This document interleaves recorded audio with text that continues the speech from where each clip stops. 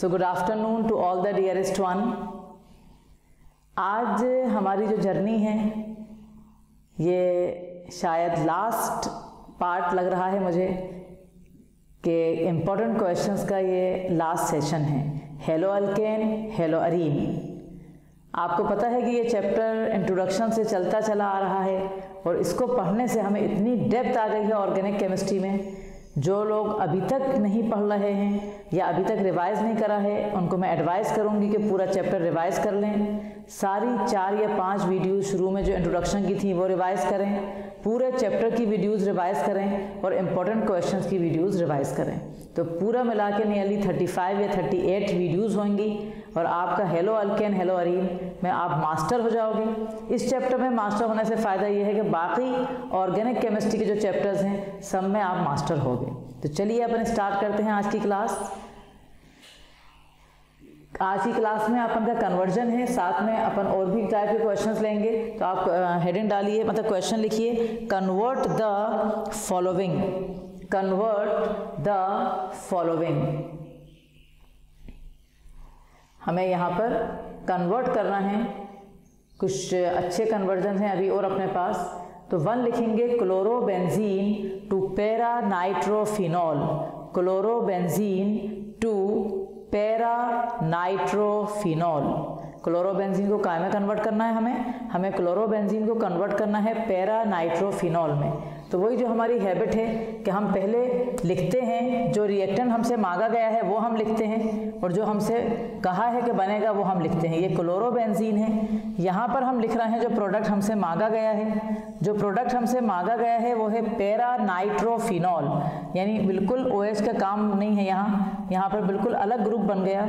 Para पे nitro लग गया और ओ लग गया अब हमें इतना टेंशन नहीं लेना है क्योंकि हमें पता है कि क्लोरोबेंजीन से एन लगाने का मेथड हम सब जानते हैं या आपने पढ़ा है इसी चैप्टर में कि क्लोरोबेंजीन में अगर आप एन डालोगे और यहाँ पर एन के साथ H पॉजिटिव बल्कि वो वाला reaction N A positive N 623 kelvin और 300 एटमोसफेरिक प्रेशर तो आपको पता है कि क्लोरोबेंजीन क्या देता है फिनॉल दे देता है समझ आ गई तो अपन पहले एरो में हम ले रहे हैं एन हम ले रहे हैं ठीक है साथ में हम H पॉजिटिव भी डालते हैं 623 केल्विन और 300 हंड्रेड प्रेशर ये सब करने से फ़ायदा ये हुआ कि मुझे मिल गया फिनॉल अब जब मुझे फिनॉल मिल गया तो अब कोई टेंशन नहीं है मुझे क्योंकि फिनॉल इज यानी जो उसमें ओ OH ग्रुप लगा है वो ऑर्थोपेरा डायरेक्टिंग है क्योंकि ओ के पास लोन पेयर है तो प्लस आर या प्लस एम जिसे कहते हैं उससे ऑर्थोपेरा डायरेक्टिंग है तो अब हम यहाँ पर जब फिनॉल में हम डाल रहे हैं एच अगर हमने डाला फिनॉल में तो मुझे मिल जाएगा पैरानाइट्रोफिनॉल और आपका दिमाग जा सकता है कि मैडम ऑर्थो भी मिलेगा ऑर्थो बहुत कम मिलेगा क्योंकि उसमें स्टेरिक हिंड्रेंस है तो मेरा जो मेन प्रोडक्ट बनेगा वो पैरानाइट्रोफिनॉल बनेगा so this is a very beautiful conversion again जैसे सी बी एस ई ज़्यादातर मांगता है बोर्ड एग्जाम में two step conversion so it is a two step conversion so I hope कि आपने कर लिया होगा अब ये वन हमारा ख़त्म हो गया अब हम सेकंड पे आ रहे हैं सेकंड हमारा दिया है क्लोरोईथेन क्लोरोईथेन यानी ये C H three C H two C L है क्लोरोईथेन को मुझे ले जाना है ब्यूटेन में क्लोरोईथेन को मुझे ले जाना है ब्यूटेन में ये मेरा ब्यूटेन है साफ दिख रहा है यहाँ पर अगर आपने पढ़ा है और पिछले वाले क्लास के कन्वर्जन रिवाइज कर रहे हैं तो आपसे पूरे बनने वाले हैं क्योंकि यहाँ दो कार्बन है और वहाँ चार कार्बन है और एक साइंटिस्ट है जिसका नाम शुरू होता है डब्ल्यू से आप सबको पता है वुड्स रिएक्शन तो वुड्स रिएक्शन में जब दो हेलो अल्केन दो एन और ड्राई ईथर से रिएक्ट करते हैं तो हायर अल्केन्स बनते हैं तो यहाँ पर कोई टेंशन नहीं है हमने इसको दो कर दिया प्लस हमने टू एन लगाया और हमने एरो पे ड्राई ईथर ले लिया तो हमारा मिल जाएगा हमें ब्यूटेन अपने फ़ायदे के लिए आप चाहें तो लिख लें वुड्स रिएक्शन ताकि आपको पता रहे कि यहाँ पर कौन सा रिएक्शन फॉलो हो रहा है यहाँ फॉलो हो रहा है Wurtz reaction so again very simple and अच्छा टू स्टेप कन्वर्जन आप कहोगे मैडम ये तो एक ही स्टेप है हाँ एक स्टेप भी मान सकते हो वरना सोडियम से ड्राई इथर के बाद एक अपन एडक बना दें लेकिन ज़रूरत नहीं एक ही स्टेप मान लो अब आ जाइए आप थर्ड पे benzene to biphenyl benzene to biphenyl अब हमारा दिमाग थोड़ा सा सोचने को चाहेगा कि हम क्या सोचना चाहेंगे हम ये सोचना चाहेंगे कि जब हमने बेंजीन मतलब बाईफिनाइल कब बनाया था जब दो बेंजीन याद करो दो एन और ड्राई ईथर से रिएक्ट कर रहे थे यानी फिटिक रिएक्शन तो मेरा पहला पर्पस ये है कि मैं बेंजीन को बेंजीन में पहले कन्वर्ट कर लूँ तो बेंजीन को जब मैं बेंजीन में कन्वर्ट करूँगी तो आप सब जानते हैं ये बेंजीन है है ना इसमें अगर हमने क्लोरीन डाला सपोज और F E C L three eleven class में पढ़ा है पिछले इस चैप्टर के अंदर भी अपन ने हेलोजनेशन पढ़ा था कि always halogenation require a Lewis acid to generate the electrophile why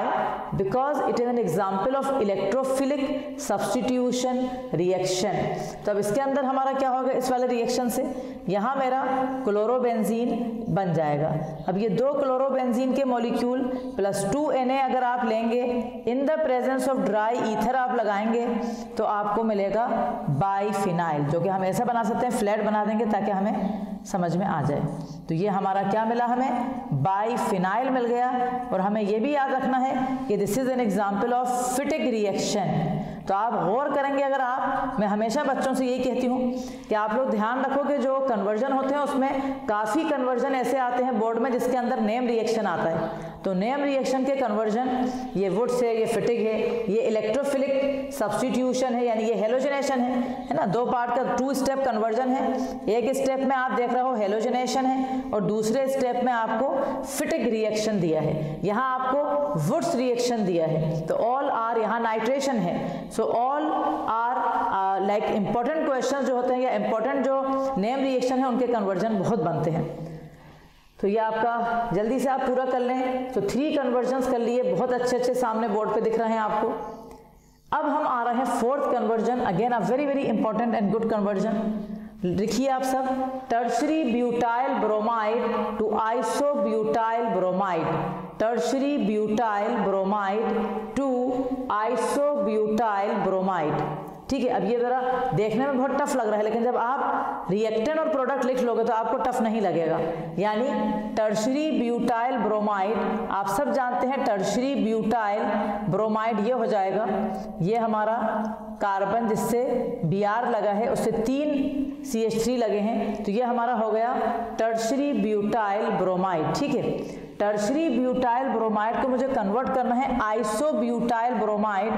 iso butyl में मतलब यहाँ पर हमारा ये सेकेंड लास्ट पे मिथाइल है और यहाँ C H two B R है ना तो ये हमारा आइसो ब्यूटाइल है बिकॉज आइसो ब्यूटाइल में मैंने कहा था बी आर लगेगा वन डिग्री कार्बन से लेकिन सेकेंड लास्ट पे मिथाइल ग्रुप होगा तो जब आपने रिएक्शन और प्रोडक्ट लिखना आना चाहिए जब ही जाके आप कन्वर्जन करोगे तो इसलिए रिविजन इज मस्ट तो tertiary butyl bromide to isobutyl bromide है ना इसको इससे हम कन्वर्ट कर रहे हैं हम बहुत आसान मेथड बता सकते हैं आपको अगर आप इसमें अल्कोहलिक के ओ एच डालें आप ध्यान से सोचिए अगर आप इसमें अल्कोहलिक के ओ एच डालें from yesterday only we are discussing and before yesterday like before the previous lecture also we are discussing that alcoholic K O H is the reagent of elimination क्या मतलब alpha से B R हटेगा और कोई से भी आ, beta से ये जैसे अल्फा कार्बन है ये वाला बी आर जिससे जुड़ा है और इसलिए बीटा किसी भी बीटा से अपन एक एच हटा देंगे तो हमें मिलेगा सी एच थ्री ठीक है C C H three double bond C H two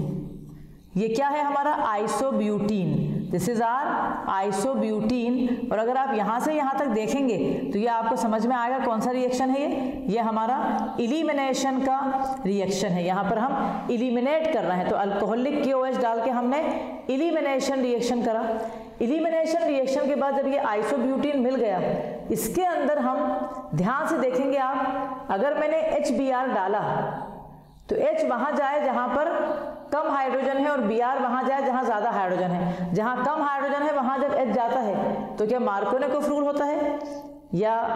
peroxide effect ये अपन को सोचना है तो जब हम यहाँ एच बी आर डालेंगे एच बी आर अगर मार्को नहीं होता तो नेगेटिव पार्ट वहाँ जाएगा जहाँ पर कम हाइड्रोजन है लेकिन यहाँ पर हम परोक्साइड डाल देंगे तो परोक्साइड का रूल ये कहता है कि एच वहाँ जाएगा जहाँ कम एच है इन डबल बॉन्ड के आसपास यहाँ कम एच है एच यहाँ आ गया और यहाँ पर बी आर तो ये आपका बहुत बढ़िया कन्वर्जन है इस पर आप स्टार लगा लें और अच्छी तरह समझ के उसको लिख लें hurry up children so it's a very very good and important conversion सारे कन्वर्जन जो हैं बहुत लेवल वाले कन्वर्जन अपने किताब में दिए हुए हैं और उनको पढ़ के और उनको पढ़ा के भी बहुत अच्छा लगता है अपन को इस तरह से हमारे लास्ट कन्वर्जन आ गए हम इतने सारे कन्वर्जन करे हैं आपको कितना अच्छा लग रहा होगा अंदर से इतने सारे कर लिए तो आप मतलब परफेक्ट हो गए अब ये वाला कन्वर्जन पे भी आप स्टार लगाएंगे क्योंकि ये वाला कन्वर्जन जो है ये भी बड़ा स्पेशल कन्वर्जन है इसका जो डेप्थ है या थ्योरी है वो अंदर बुक में नहीं है बल्कि ये हमें ही समझाना पड़ेगा जैसे मैंने कल आयोडोफॉर्म समझाया था यहाँ पहले लिख लेते हैं हमसे मांगा क्या है और हमें क्या दिया है ये हमारा एनलिन है सब जानते हैं aliphatic aromatic one degree amine है अमीन का वन डिग्री कैसे पता चलता है एन के आसपास एच देखिए आप अगर एन के पास दो एच है तो वन डिग्री है तो और एरोमेटिक है ये तो एरोमेटिक वन डिग्री अमीन है जिसका नाम है एनिलीन और इसको हमें कन्वर्ट करना है काय में इसे हमें कन्वर्ट करना है ये फिनाइल है और ये एन लगा देंगे अपन phenyl isocyanide cyanide C N होता है और आइसोसाइनाइड एन सी होता है तो I have to convert aniline into phenyl isocyanide ये एक बहुत ही इंपॉर्टेंट रिएक्शन है केमिस्ट्री का एन सी को अपन ने बताया था कार्बाइल अमीन भी कहते हैं इस रिएक्शन का नाम है कार्बाइल अमीन या आइसोसाइनाइड टेस्ट ज़रा समझ लें है क्या ये कह रहा है जब भी एलिफेटिक या एरोमेटिक वन डिग्री अमीन को अगर आपने रिएक्ट करा क्लोरोफॉर्म से और स्ट्रॉन्ग अल्कली से तो आपको एक बहुत ही ऑफेंसिव स्मेल गंदी स्मेल वाला कंपाउंड मिलेगा जिसका नाम है आइसोसाइनाइड यानी एन ये मिलेगा तो बस ये एक रिएक्शन है तो अपन पहले मैं लिख देती हूँ फिर अपन रिएक्शन लिखेंगे यहाँ पर मैंने इसमें एक ही एरो लगेगा यहाँ क्लोरोफॉर्म डाल दिया मैंने और मैंने एन डाल दिया ठीक है तो मुझे आइसोसाइनाइड मिल जाएगा क्लोरोफॉर्म और एन डाल दिया या के डाल दिया तो मुझे आइसोसाइनाइड मिलेगा प्लस ये तीन एन डालते हैं जैसे तो थ्री एन निकलेगा प्लस थ्री एच टू लेकिन खैर कन्वर्जन में बाई प्रोडक्ट से कोई लेना देना नहीं है हमारा जब भी हमने कुछ बच्चों ने मुझसे डाउट पूछे थे मैंने देखा था कि डायजोटाइजेशन वाला जो पिछली लेक्चर में करा था कि डायजोटाइजेशन वाले में बाय प्रोडक्ट क्या है तो डायजो डायजोनियम सॉल्ट के जब भी जो प्रोडक्ट होते जो निकलता है मेन प्रोडक्ट उसके साथ एन निकलता है एन है ना एन गैस नाउ तो ये फिनाइल आइसोसाइनाइड हो गया इसके अंदर आप एक लाइन लिखेंगे मेरे साथ एलिफेटिक एलिफेटिक और एरोमेटिक एलिफेटिक और aromatic one degree amine when when it is treated when it is treated with chloroform and NaOH then offensive यानी गंदी ऑफेंसिव स्मेल कंपाउंड ब्रैकेट में isocyanide is formed isocyanide is formed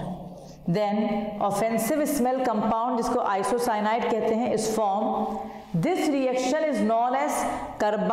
carbylamine और isocyanide test लिख लो this reaction is known as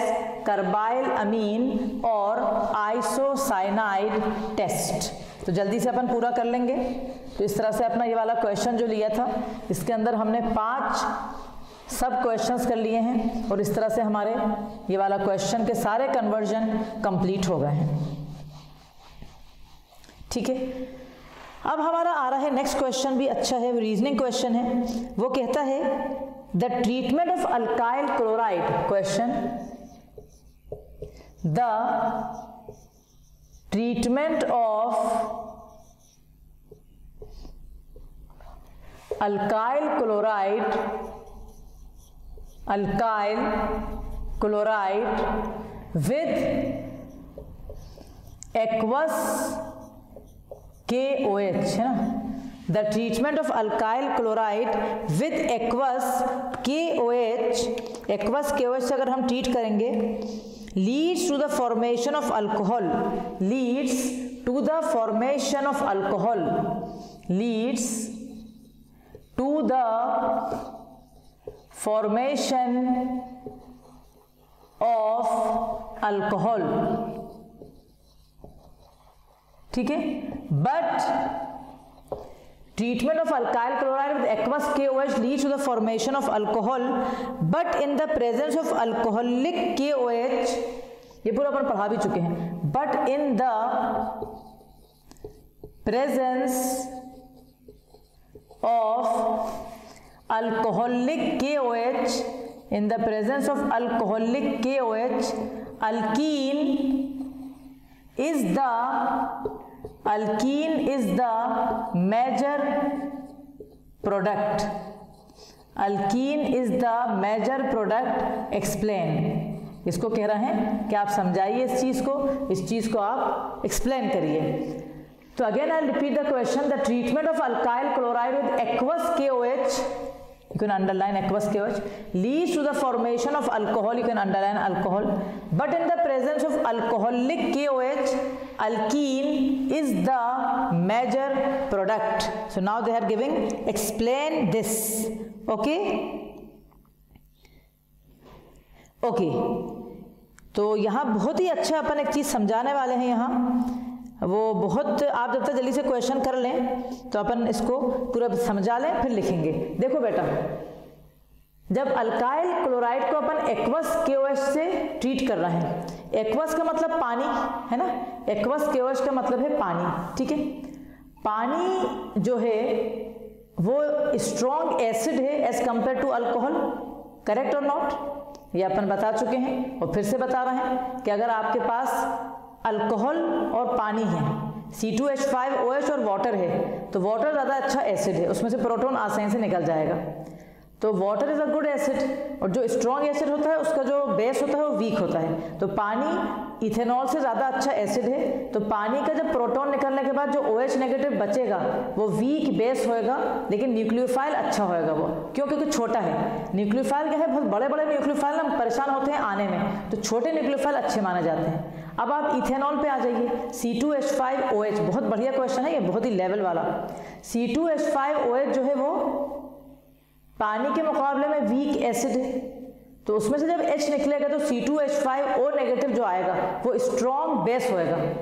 ठीक है strong base क्या करेगा proton को इलिमिनेट कर लेगा तो इलिमिनेशन रिएक्शन शो करेगा लेकिन वो न्यूक्लियोफाइल बहुत अच्छा नहीं होगा क्योंकि वो बड़ा है बल्कि nucleophile are not consider good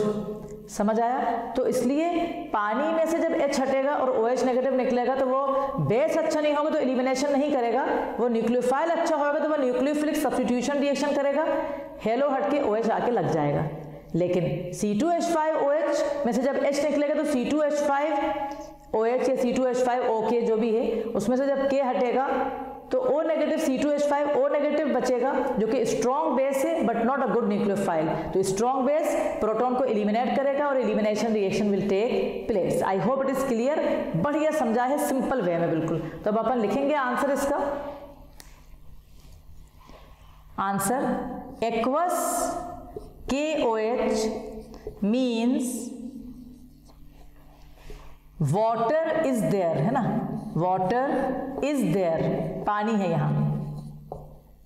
water is a strong acid वैसा खाली स्ट्रॉन्ग एसिड नहीं लिखना होगा कहेगा मैडम पानी तो हम पीते हैं वो स्ट्रॉन्ग एसिड कैसे है I am comparing it with alcohol water is a strong acid as compare to alcohol hence O H negative मतलब जब पानी में से एच हट जाएगा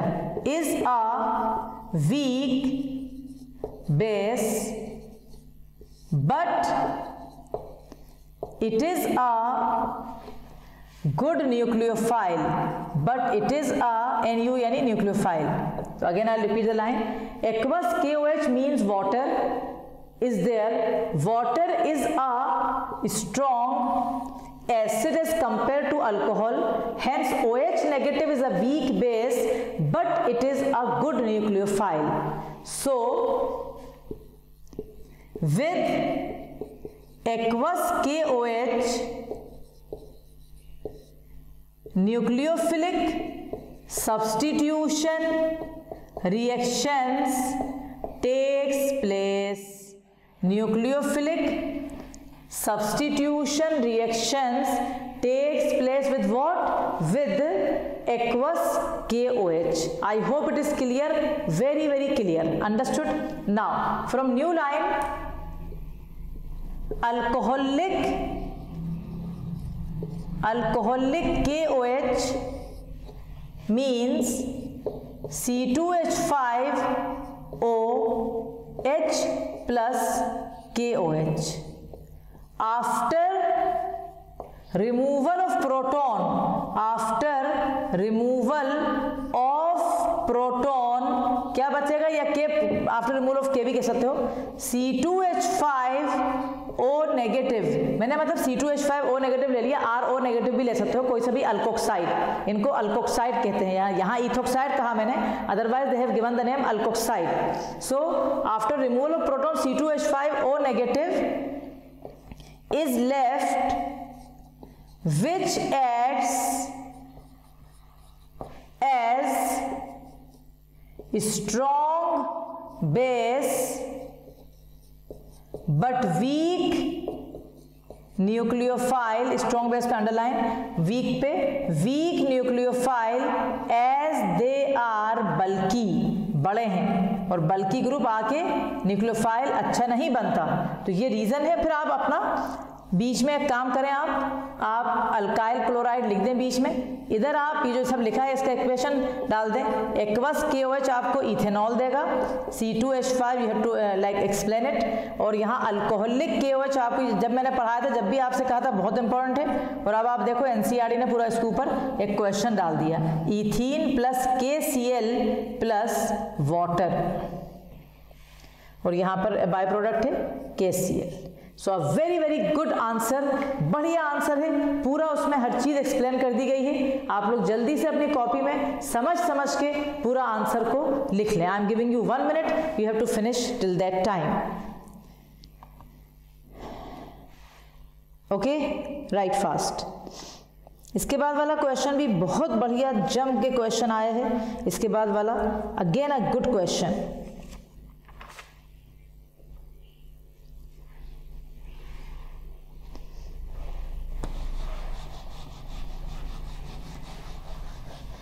लिखते लिखते भी वही मैं कहती हूँ लिखते लिखते भी आंख बंद करके नहीं लिखना चाहिए आप लिख रहे हैं आप समझ समझ के लिखेंगे आपको बहुत ज़्यादा फायदा होने वाला है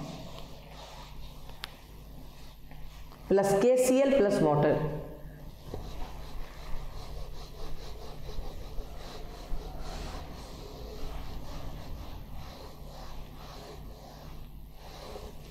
okay I hope कि आपने लिख लिया होगा aqueous cause water is a strong acid as compared to alcohol so OH negative is a weak base so it is a good nucleophile so it leads to nucleophilic substitution reaction alcoholic KOH mean C2H5OH plus KOH removal proton के बाद C2H5O negative is left which acts as a strong base but weak nucleophile so elimination reaction is taking place okay now the next question which we are taking now it's a good question जिसके अंदर एक type के question आते हैं अपन ten में भी कभी करते थे इसने ये दिया ए ने दिया तो किसी चीज़ से रिएक्ट करा तो बी दिया बी रिएक्ट करके सी दे रहा है सी दे रहा है डी ये वाले रिएक्शन भी बहुत अच्छे माने जाते हैं तो अब अपन उसमें से एक रिएक्शन कर रहे हैं क्वेश्चन कर रहे हैं right question primary alkyl halide C four H nine B R primary यानी one degree alkyl halide one degree alkyl halide C four H nine B R ठीक है one degree alkyl halide C four H nine B R reacted with alcoholic K O H हाँ one degree alkyl ये A है है ना ये A है reacted with reacted with KOH to give compound B reacted with KOH to give compound B to give compound B okay तो 1 degree alkyl halide C4H9Br reacted with alcoholic KOH to give compound B. Compound B is reacted in presence of HBr. B reacted in the presence of HBr to give B reacted in the presence of HBr to give C to give C which is an isomer of A ठीक है which is an isomer of A when A reacts with N A it gives D when comma लगा के when A react N A when A react reacts N A it gives D when an a reacts with na it gives d c8h18 d kya hota hai c8 h 18 ठीक है it gives D C eight H eighteen that was different from the compound form that was different that was different from the compound formed from the compound formed that was different from the compound formed from the compound formed when different from the compound formed when N-butyl bromide is treated with Na. When N-butyl bromide is treated with Na. N-butyl bromide is treated with Na. है ना is treated with Na. Give the structure of A and write all the reactions involved. Give the structure of A, B, C, D and write all the reactions involved write all the reactions involved अब देखते ही जैसे बच्चा अगर लिख ही रहा है ना ये क्वेश्चन तो देख के घबरा जाएगा वो बच्चा मतलब हो सकता है उसे सब आता है बट वो देख के कि बाप रे क्वेश्चन ही सिक्स सेवन लाइन्स के है तो मैं करूँ कैसे इसका आंसर बहुत ईजी लगेगा अभी आप जब मुझसे आप इस तरह के क्वेश्चन करोगे जैसे कन्वर्जन मुझे लग रहा है अब आपको ईजी लगने लगा ऐसे ये भी आपको ईजी लगने वाला है बट आप एक दफ़ा जल्दी से पूरा कर लें मैं पढ़ती जा रही हूँ one degree alkyl halide C four H nine B R formula है उसका उसका नाम ए दिया है उसको जब रिएक्ट करा के ओ एच से तो उसने बी दिया हमें बी को जब हमने एच बी आर से रिएक्ट करा तो उसने हमें सी दिया सी और ए आइसोमर है एक मतलब दोनों आइसोमर हैं ए को जब हमने सोडियम से रिएक्ट करा तो उसने हमें सी एट एच एटीन दिया लेकिन ये लाइन बड़ी स्पेशल है ये जो C eight H eighteen that was different from the compound formed when N-butyl bromide is treated with Na. यानी N butyl bromide straight chain वाला ब्यूटाइल ब्रोमाइड ऑक्टेन देगा लेकिन यहां ये कह रहा है कि जब एक और रिएक्ट करा हमने सोडियम से यानी वुड्स रिएक्शन क्योंकि ये आपका चार कार्बन है और ये आठ होगा तो वुड्स रिएक्शन तो जो उसने हमें दिया वो वो प्रोडक्ट अलग था किससे कि जब एन ब्यूटाइल ब्रोमाइड रिएक्ट करेगा सोडियम से तो ये जो बच्चा समझ रहा है उसको हिंदी में ट्रांसलेट कर रहा है क्वेश्चन को वो समझ में आ रहा है उसको कि एन ब्यूटाइल ब्रोमाइड से तो ऑप्टेन देगा मतलब एन ब्यूटाइल ब्रोमाइड से जो प्रोडक्ट बनेगा वो और ए से अलग बनेगा तो हमें इसका मतलब समझ में साफ आ रहा है कि ए एन ब्यूटाइल ब्रोमाइड नहीं उसका कोई सा आइसोमर है उसका कोई सा आइसोमर है बट एन ब्यूटाइल ब्रोमाइड नहीं लेकिन वो जो आइसोमर होगा वो भी वन डिग्री होगा क्योंकि उसने कहा है वन डिग्री कितना बढ़िया क्वेश्चन है सिंपल समझ में आ रहा है अब देखो अपन एक लाइन लिखेंगे यहाँ एक लाइन लिखेंगे एस as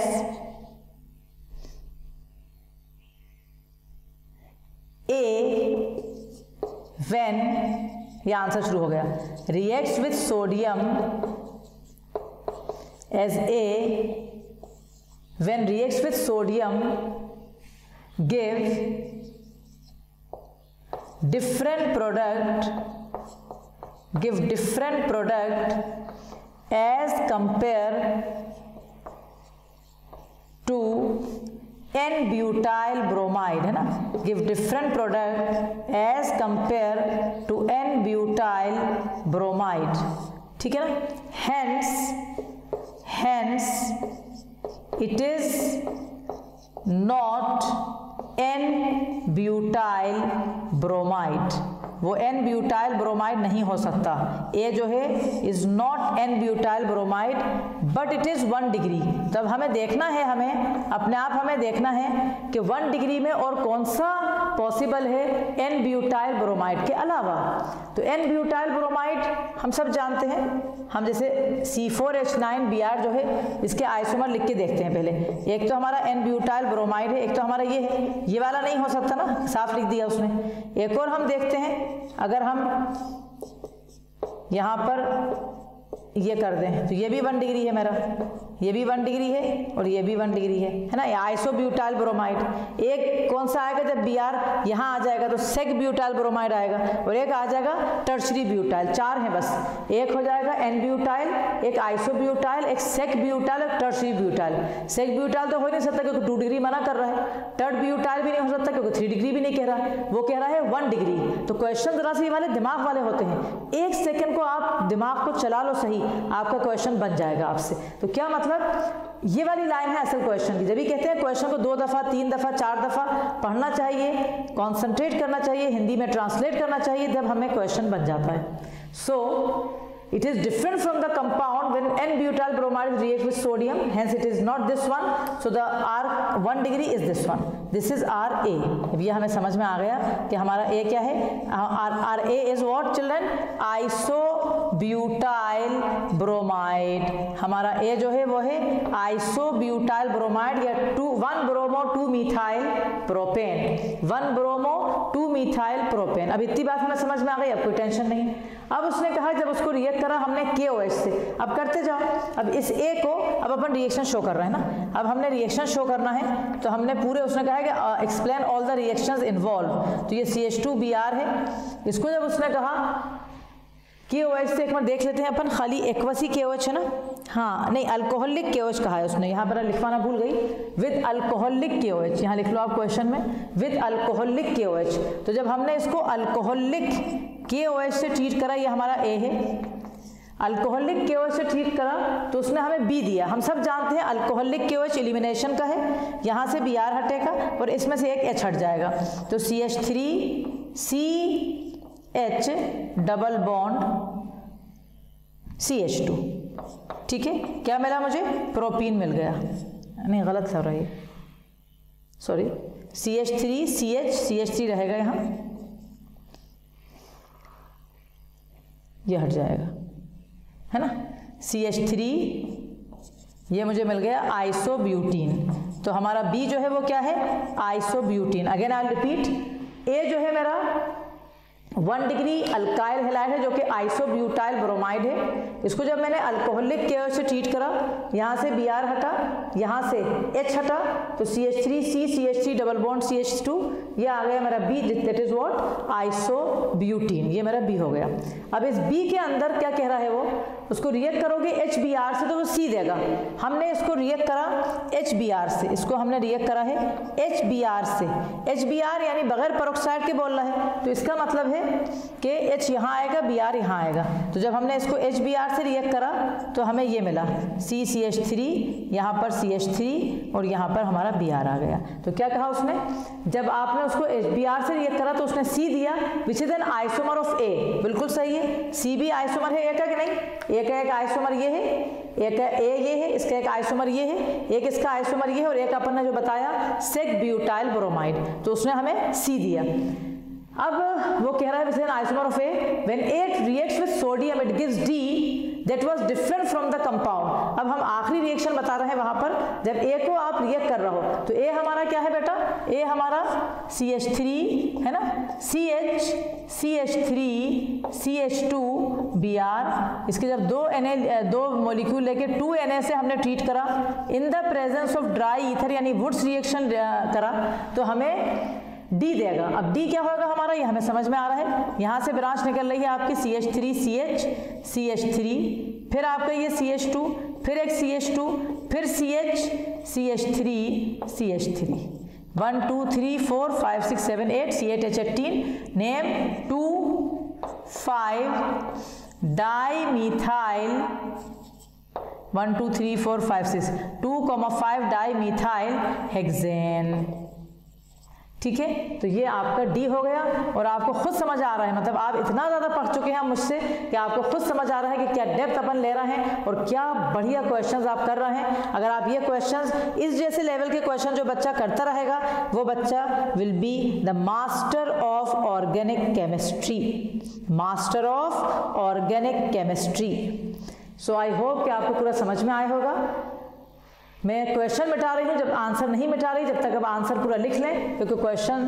जब तक मिटेगा अब इसके बाद एक अपन का क्वेश्चन एक और बचा है वो अपन करेंगे इसके बाद हम कह सकते हैं बहुत प्राउडली मतलब मैं तो बहुत ज़्यादा proudly I am feeling that I taught this chapter with my heart मैंने इस चैप्टर को पढ़ा है अपने दिल से दिल का मतलब होता है कि आपने इस चैप्टर को पूरी जान लगा दी कि बच्चे को समझ में आ जाए and nobody can can say कि नहीं आया हंड्रेड परसेंट जब आप पढ़ोगे जाओगे और सारी वीडियोस देखोगे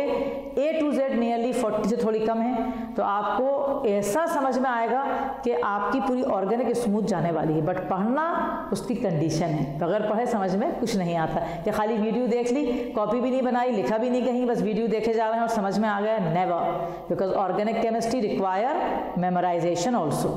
तो ये हमारा क्वेश्चन हो गया तो अब लास्ट क्वेश्चन है व्हाट हैपेंस व्हेन ये भी अच्छा क्वेश्चन ये भी एक आइडिया होता है इसलिए ये वाला क्वेश्चन भी अपन को करना है ये क्वेश्चन कहता है व्हाट हैपेंस व्हेन इसमें वन आएगा what happens when one N butyl bromide is treated with alcoholic K O H N butyl bromide बहुत अच्छा क्वेश्चन है ये वाला इसमें तीन स्टार लगा बहुत स्पेशल एक चीज़ बताना है इसमें N butyl bromide is treated with alcoholic K O H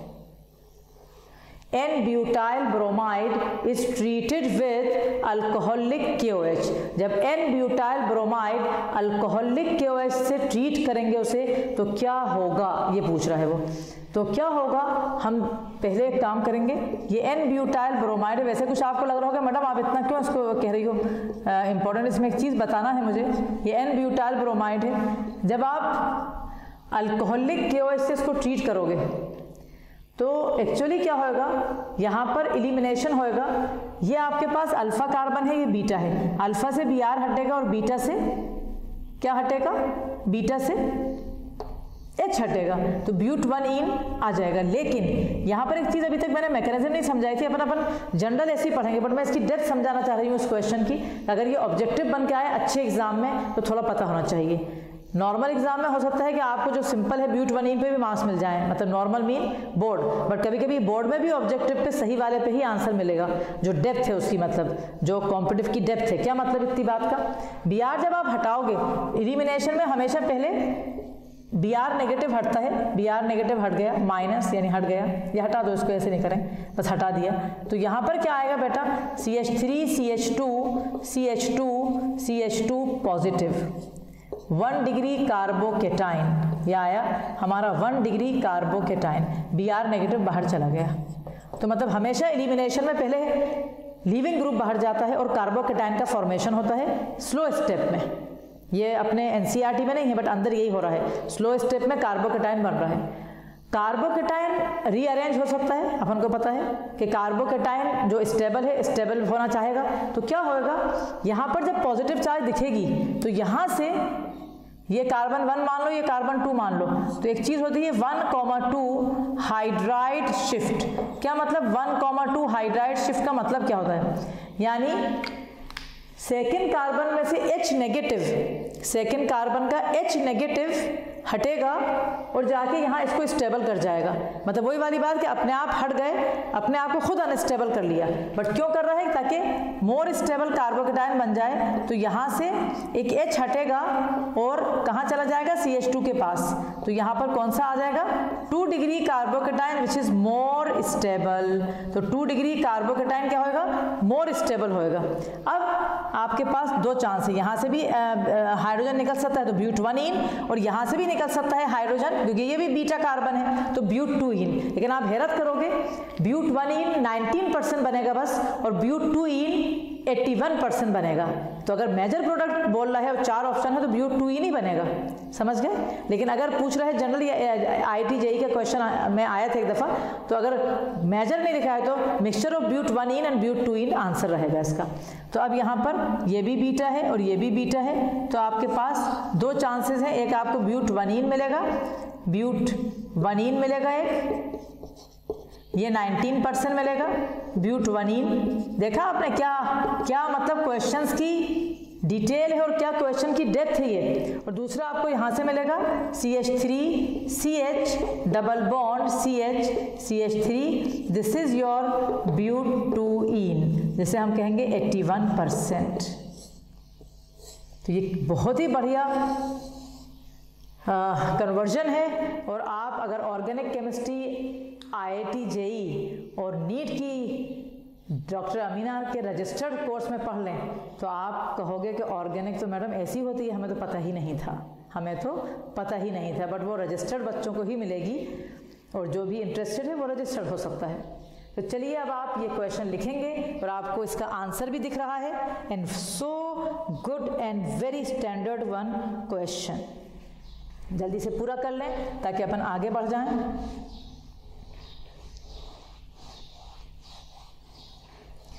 ठीक है तो ये question number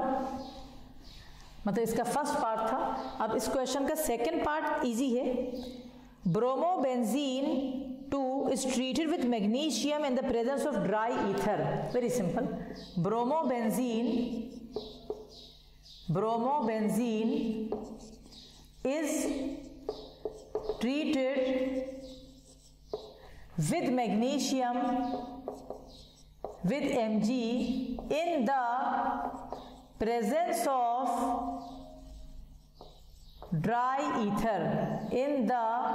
presence of dry ether है ना ब्रोमोबेंजीन है ये ये हमारा ब्रोमोबेंजीन है दिस इज आर ब्रोमोबेंजीन ठीक है इसको हमने काय से ट्रीट करा हमने इसको एम से करा मैग्नीशियम से किसके प्रेजेंस में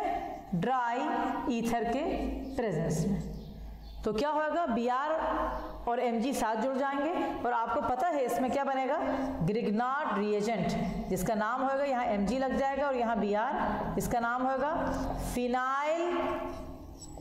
magnesium bromide phenyl magnesium bromide is the product तो इज इज वेरी सिंपल इसमें कोई ऐसी खास डेप्थ नहीं है जो बताई जाए इज अ सिंपल क्वेश्चन हर चीज़ मतलब टफ नहीं होती लेकिन जो थियरी होती है उसको बहुत दिमाग में रखना चाहिए क्योंकि वही क्वेश्चन बन के आ जाते हैं नेक्स्ट बहुत आसान है अब सभी methyl bromide with N A in the presence of dry ether मुझे लगता है ये कोई क्वेश्चन नहीं है जो करा जाए अब इस लेवल पे आपको आता है लेकिन चलो करवा देती हूँ methyl bromide with N A in the presence of dry ether I think all of you know it very well हमारे पास ethane बनेगा जो कि Woods reaction show कर रहा है तो अब मैं बहुत ही अच्छा लग रहा है मुझे इस time I am telling to the truth क्योंकि अच्छा क्यों लग रहा है बेटा अच्छा इसलिए लग रहा है क्योंकि आपने वाकई में इस चैप्टर को बहुत ही मन से पढ़ाया है मैंने और हमेशा मैं ऐसे ही पढ़ाती हूँ बट वही वाली बात कि यूट्यूब पे और ऑनलाइन आप सब ने देखा इसे ये मुझे अच्छा लगा और मेरी मतलब दिल से दुआ है कि आप लोगों को बहुत बहुत अच्छा समझ में आए आगे भी आपके सेशन चलते रहेंगे नए नया चैप्टर शुरू होएगा अब इसके बाद यूट्यूब पे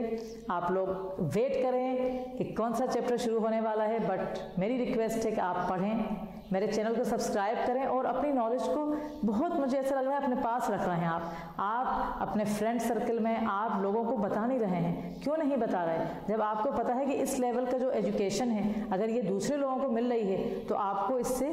ट्रिपल हंड्रेड टाइम्स फ़ायदा ज़्यादा होगा so with this quote I want to finish from D S C team doctor Amina H O D chemistry all the best stay safe and healthy bye bye